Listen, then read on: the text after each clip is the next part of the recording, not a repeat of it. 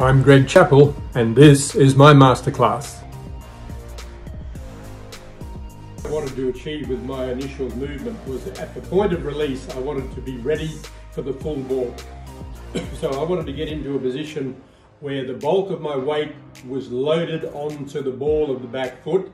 The front foot was either just hovering or lightly touching the ground. So that once I saw the ball was up, I could push forward to wherever that ball was going to be pitched. If, as I said, the arm travelled so far and the ball was still in it and it was going to be a short delivery, I had time to put push down with the front foot, to load up, to push me back to defend or to attack the short ball.